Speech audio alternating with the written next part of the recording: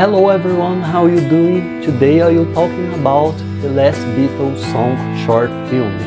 And so let's go. At the beginning of the short film, Paul starts talking about what he thought would be the end of the Beatles with John's death, and that it would no longer be possible to release something in which the four could be present. In part, he was right because physically this meeting is no longer possible. However, technology over the years made it possible for the four Beatles to come together in three songs, composed for the most part by John Lennon. And the second thing that's here on the video, John's tapes were recorded in the Dakota building in New York City.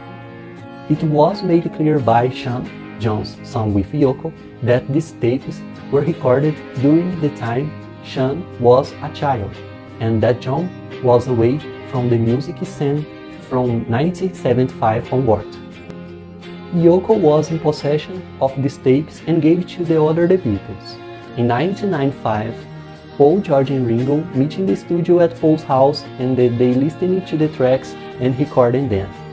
There is a part that draws a lot of attention in this short film when it is shown that George and Paul are sitting on a bench in a what appears to be close to the studio. They try to play Norwegian Wood, a Beatles song, but George plays the wrong chords, showing that time passed and he no longer played the Beatles songs.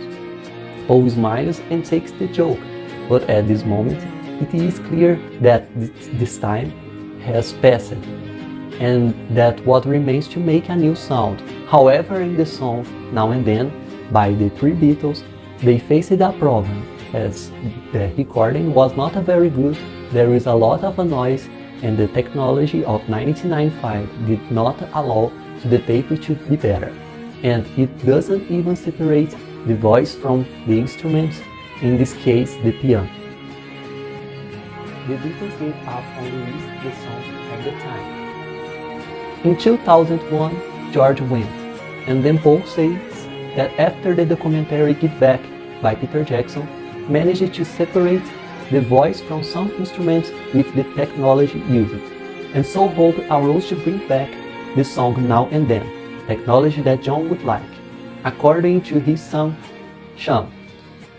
With his voice separate, Paul recorded his double bass part and Ringo was invited to add his drums again, added strings featured many Beatles songs. The rest is history. What the last Beatles songs short film.